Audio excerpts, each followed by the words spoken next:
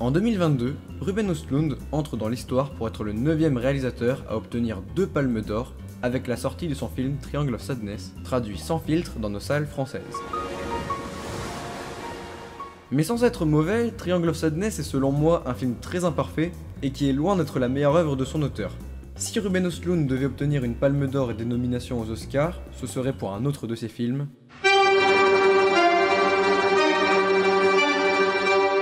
Force majeure est un film sorti en 2014, réalisé 3 ans avant la consécration de son auteur à Cannes avec The Square.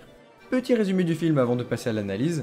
Attention, on va beaucoup spoiler, je vous conseille donc de voir ce chef-d'œuvre avant. C'est le film le plus accessible de son auteur et selon moi, son meilleur, donc ne vous gâchez pas ce plaisir. Le film nous raconte l'histoire d'une famille suédoise en vacances dans les Alpes françaises. Cette famille assiste à une avalanche contrôlée alors qu'ils mangent dans un restaurant en haute altitude. Voyant l'avalanche prendre de l'ampleur, Thomas, le père, s'enfuit abandonnant sa famille alors que l'avalanche passe comme prévu à côté du restaurant. C'est vrai. Après cet événement, la famille n'est plus comme avant. Eba, la mère, ne fait plus confiance à son mari. Thomas tombe dans le déni, se crée une sorte de barrière mentale et est persuadé de ne pas s'être enfui. He got so scared that he ran away from the table. What? No, I did not. No, no, no. No, no, no, no, no, no, no. Eba va tenter de confronter Thomas à son erreur, et après moultes engueulades, moments de solitude et remise en question, la famille est à nouveau unie.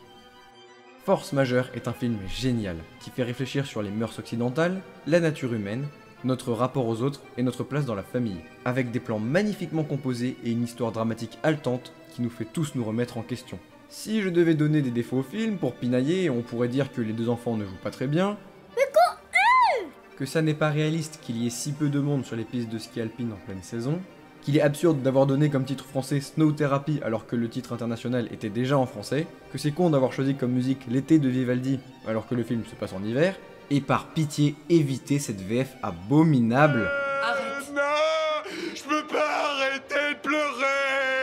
Mais là, c'est du chipotage, et je suis ici pour vous vanter les mérites du film dans une analyse. C'est parti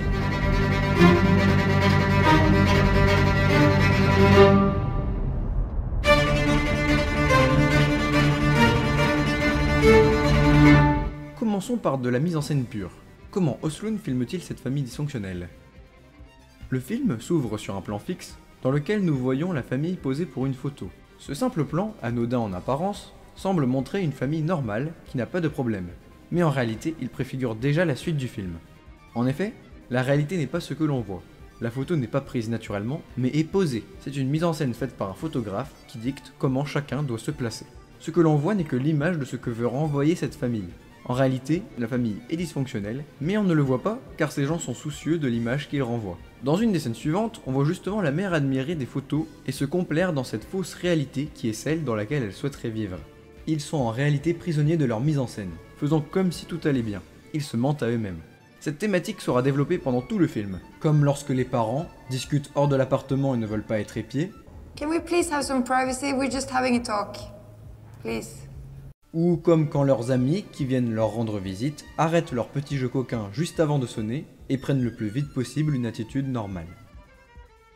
Cette idée de mise en scène lorsque l'on est à l'extérieur est renforcée par le fait qu'on n'a jamais l'impression, au début du film, que la famille est seule. Plein d'éléments de vie assez anodins donnent l'impression qu'il y a toujours quelqu'un quelque part qui pourrait peut-être les juger, comme le service d'entretien qui passe l'aspirateur, le brouhaha des autres personnes au restaurant, les autres personnes sur le télésiège,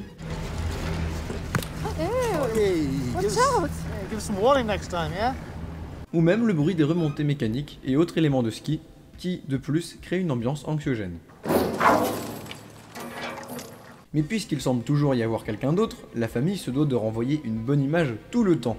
Il est avant tout ici question de paraître avant d'être. Sauf que paraître ne suffit pas, il faut être. Dans les premières scènes du film, le cinéaste montre déjà des éléments de faille dans la famille.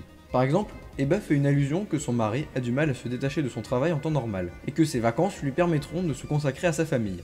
Vi er her fordi Thomas jobber så jævlig mye. Så nå får han fem dager til å bare fokusere på sin familie. Mais Thomas va finalement sur son portable. Pire, inte. il ment. Et même si la cause et la conséquence de ce mensonge en particulier n'est pas grave, on peut déjà comprendre que la famille n'est pas aussi parfaite qu'on essaye de nous le faire croire.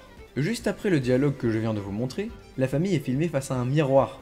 Ce type de plan, qu'on va appeler brossage de dents, reviendra de nombreuses fois dans le film. Chacun n'est que l'ombre de lui-même, prisonnier de cette fausse image de famille parfaite. Ils cachent qui ils sont, se mentent à eux-mêmes. Et l'avalanche ne sera pas ce qui va créer le problème dans la famille, mais ce qui va révéler ce qui ne va pas.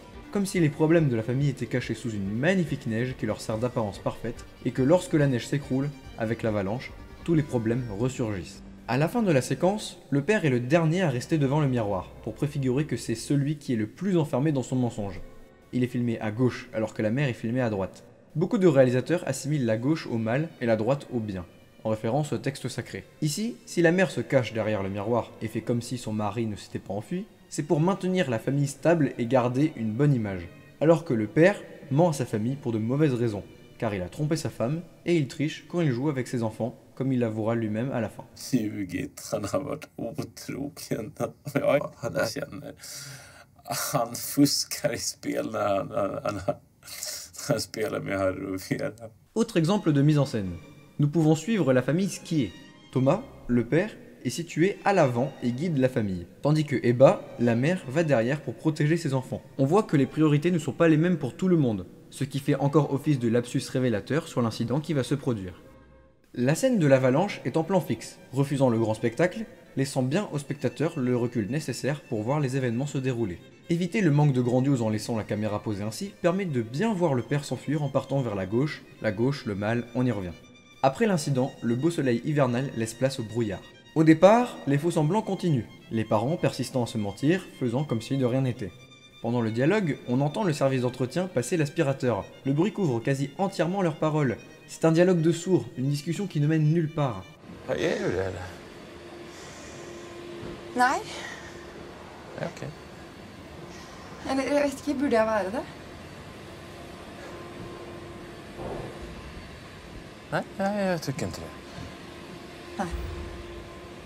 Det. Et lors d'un premier repas avec une amie d'Eba, Thomas nie s'être enfui, ce qui casse l'ambiance. On remarque d'ailleurs que lors du dîner, l'autre homme avec qui il mange nie aussi quelque chose. So you told me that you're very religious. I say that? Yeah, you did. Not that I'm very religious. Yeah, you did? It's all right. What's No, wrong with that? I Le couple, toujours soucieux de son image, choisit de se mettre d'accord sur ce qu'ils vont dire. La mère se rabaissant encore en faveur d'une version plus avantageuse pour le père.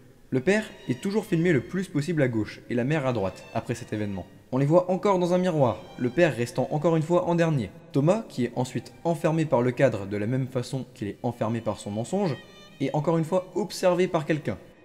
Le troisième jour, il est encore enfermé par le cadre, cette fois filmé plus petit que ses enfants. Le comportement de Thomas est tellement pathétique qu'il ne vaut pas plus que celui d'un très jeune enfant. Les faux semblants vont continuer, même avec leurs amis. On voit sur ce plan le père auréolé d'une lampe, et la mère avec son visage hors du cadre. L'homme est idéalisé, toujours mis en lumière, tandis que la femme n'existe pas. La caméra ne s'embête même pas à la mettre dans le cadre. L'identité des mères de famille est effacée au profit de la famille dont l'homme est central. Lors de la discussion, Eba craque et arrête de faire semblant. Elle dit la vérité. Le problème, c'est que Thomas est tellement dans le déni qu'il est sincère quand il dit ne pas s'être enfui. Il est sûr de dire la vérité.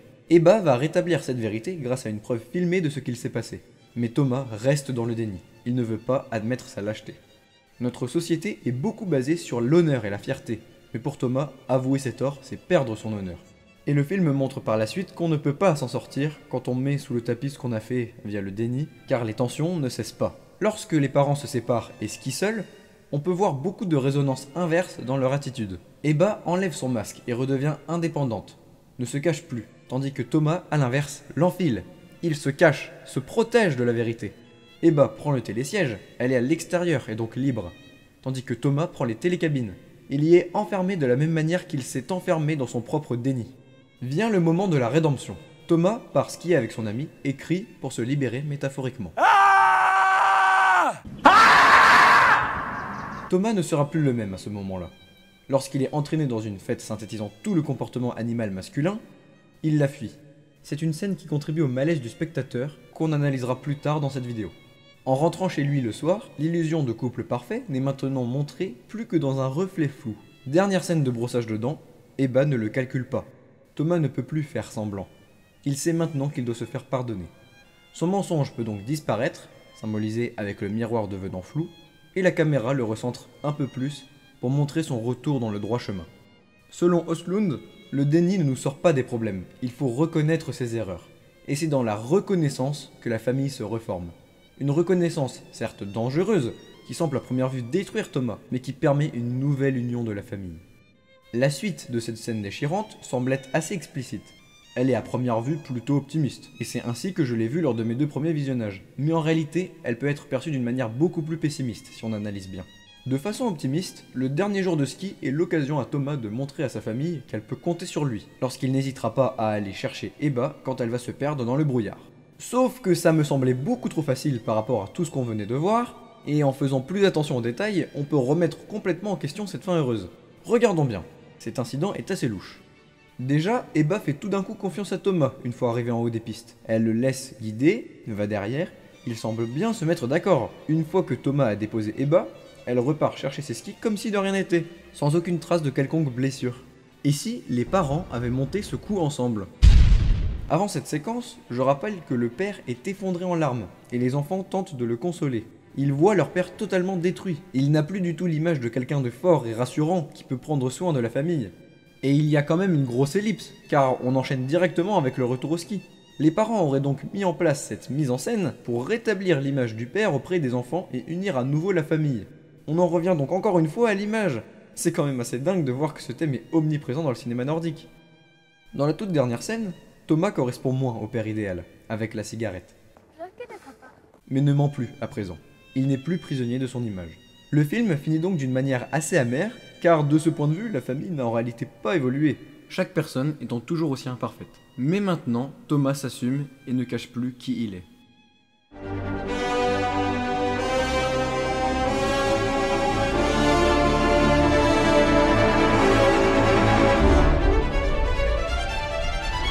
En philosophie, la nature est représentée chez l'homme par son instinct, la pensée le poussant à répondre aux besoins de son corps en priorité.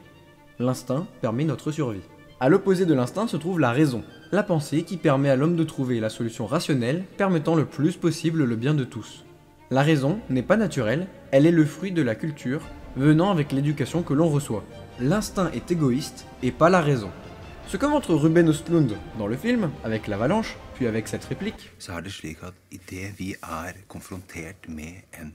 ekstrem situasjon, så slår det en kraft inn i oss mennesker som heter 'jeg vil overleve'. Og da handler du der. Det er en impuls. Du, du, bare, du bare, det er en kraft, en urkraft, som bare gjør at du bare kommer deg vekk derfra. C'est que l'homme ne peut échapper à son instinct, quel que soit son niveau de culture. L'instinct sera toujours là pour potentiellement prendre le dessus dans les situations extrêmes. La raison ne pourra jamais le contrôler entièrement ni le faire disparaître. Alors, vous pouvez me dire que non, ça n'est pas le cas pour tout le monde, le film montre clairement Eba protégeant ses enfants. Mais c'est faux. On n'y fait pas attention car personne n'en parle ensuite, mais Eba abandonne ses enfants dans la fameuse scène finale du bus. Dans cette scène, le chauffeur conduit super mal et risque à tout moment de faire un accident. Eba, affolé, sort du bus sans ses enfants, et c'est Thomas qui va les emmener avec lui. Eba s'est donc enfuie sans ses enfants, dans une situation extrême, de la même manière que Thomas. Elle valide donc la thèse de son ami Matt sur l'instinct de survie, qu'elle a nié pendant tout le film. Mais alors, pourquoi la mise en scène ne s'attarde pas sur cet événement? Nous allons justement voir ça dans cette troisième partie.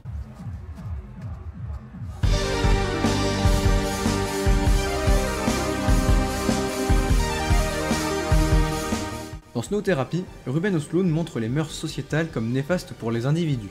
Ces mœurs nous forcent à devenir des personnes que nous ne sommes pas et que nous ne voulons pas forcément être. Prenons cet exemple du film. er et bilde vi har fått av helter. Vi blir fora med disse heltefortellingene. Og dette kravet om at vi skal være helter og, og, og gjøre heroiske ting i grusomme situasjoner. Tout le monde fait culpabiliser Thomas car il ne s'est pas comporté en héros. Et c'est pour cela qu'il est si mal. Lui n'est pas un héros, mais la société veut qu'il en devienne un. Si l'on n'a rien reproché à Eba lorsqu'elle a quitté le bus, c'est parce que la société n'attend pas les mêmes choses des hommes et des femmes. On demande aux hommes d'avoir de l'honneur et de se comporter en héros, alors qu'on accepte plus qu'une femme se laisse emporter par ses émotions. Le réalisateur l'a répété plusieurs fois dans les médias, si lors de l'avalanche Thomas avait protégé ses enfants et qu'Eba s'était enfui, Il n'y aurait pas eu de film, car dans la société dans laquelle on vit, on n'a jamais reproché à une femme d'avoir fait preuve de lâcheté. Ce n'est pas ce qui est attendu d'elle. Voici ce que le réalisateur a dit dans une interview en 2015. Il y a aussi une anxiété qui naît des attentes qu'on sent peser sur nous, des comportements que nous nous sentons forcés d'avoir en tant qu'hommes et femmes dans notre société. Chacun finit par se battre avec ses propres instincts pour se conformer à ce qui est bien. Mon film entre dans cette crise, mais avec la volonté de chercher une harmonie, une façon d'être proche de l'autre et de s'accepter soi-même en oubliant ce que la société attend de nous. Ostlund appuie avec ses personnages des clichés parfaitement genrés. Les hommes n'ont aucune confiance en eux et ne parviennent pas à s'assumer, avec Thomas, tandis que les femmes ont des attentes contradictoires sur la masculinité, avec les différents dialogues entre Mats et Fanny. Fanny qui dicte à Mats des stéréotypes auxquels il devrait répondre selon elle, en le faisant culpabiliser de ne pas être un héros. Elle lui dit aussi. Sauf qu'elle a tort, car on voit bien que Mats est beaucoup plus ouvert à la discussion et à la remise en question. Mats va tout de même assimiler ce stéréotype de héros en prenant les choses en main lors de l'évacuation du bus, pour bien se faire voir de sa petite amie et de la société. Ainsi, la société ne le fera pas culpabiliser comme avec Thomas, mais l'aura contraint à être autre chose que lui-même. Tout cela rejoint la théorie du psychanalyste Sigmund Freud sur le malaise dans la culture. Selon Freud, la civilisation nous force continuellement à lutter contre nos pulsions. On va les refouler pour vivre avec les autres. La civilisation, bien qu'elle protège l'individu, exige de grands renoncements pulsionnels causant des névroses. On ne fait pas tout ce que l'on a envie de faire pour être en accord avec la société. On se retrouve forcé à se conformer à cette société. Ce qui fait que nous sommes une société de névrosés où tout le monde est prisonnier des mœurs sociétales. Et le film de Ruben Östlund montre justement des personnages déchirés entre ce qu'ils sont et ce que la société exige d'eux. Et pour traduire ce fameux malaise dans la culture, le réalisateur va donner à son film une ambiance anxiogène avec une pluralité d'éléments. Les différents bruits peu agréables, comme les remontées mécaniques, les avalanches contrôlées, la brosse à dents électrique, le frottement des skis sur la neige, sur lesquels le film s'attarde dans un silence étouffant, l'absence de musique, de mouvement de caméra et de rythme qui accentue le malaise ressenti lors des discussions gênantes,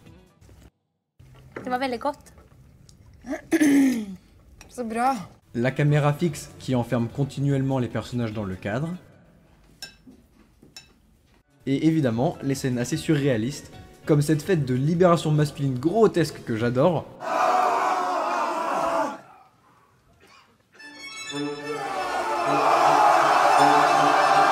le monsieur qui fume fixant toujours les personnages, ou le malentendu au bar, qui ont pour but de laisser le spectateur complètement perplexe et donc d'accentuer sa sensation d'inconfort, de malaise, devant le film. Mais Ruben Östlund n'est pas fataliste et propose un moyen de sortir de ce malaise avec le personnage de Charlotte. Charlotte est une amie d'Eba, elle a un mari et des enfants, et elle est venue seule en vacances pour changer d'air car ça l'épuisait de s'occuper de sa famille. C'est une femme qui a un couple libre, elle vogue d'aventure en aventure, on sait qu'elle a couché au moins avec deux hommes différents pendant son séjour. Le réalisateur montre que les normes sociales les plus primaires, comme le couple, ne permettent pas forcément d'être heureux et qu'il faut s'en détacher. Cette femme est hors des conventions sociales et du patriarcat, et c'est elle symboliquement qui ne sort pas du bus à la fin, ne voulant pas se soumettre aux clichés culturels des rôles hommes-femmes. C'est un choix irrationnel, car elle n'est pas en sécurité dans ce bus, de la même manière qu'elle n'est pas en sécurité si elle ne respecte pas les normes sociales. Mais c'est un choix qui lui permet moins de contraintes, elle n'a pas à descendre tout à pied et elle sera à l'heure pour prendre son avion, tout comme elle se contraint moins à respecter les normes sociales et à plus exprimer qui elle est, évitant les névroses et le mal-être.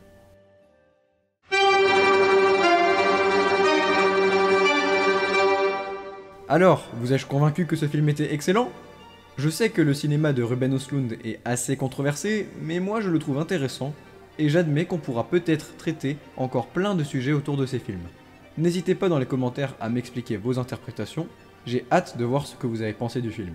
C'était une vidéo assez dense, je compte sur vous pour mettre un like et partager mon travail autour de vous. Ces vidéos me prennent énormément de temps alors que je ne fais que très peu de vues, donc votre soutien me fait énormément plaisir. Pour la prochaine vidéo, on va certainement faire une analyse comparative de deux films pour expliquer en quoi l'un a échoué quand l'autre a réussi. Je vous laisse deviner dans les commentaires les films en question. Pour ne pas manquer ça, abonnez-vous et mettez la cloche pour être prévenu. Comme je ne poste pas régulièrement des vidéos, vous ne serez pas spam. Vous pouvez également me suivre sur Letterboxd pour connaître mon avis sur tous les films que je vois, j'y suis très actif. Merci de m'avoir suivi jusqu'au bout, à la prochaine.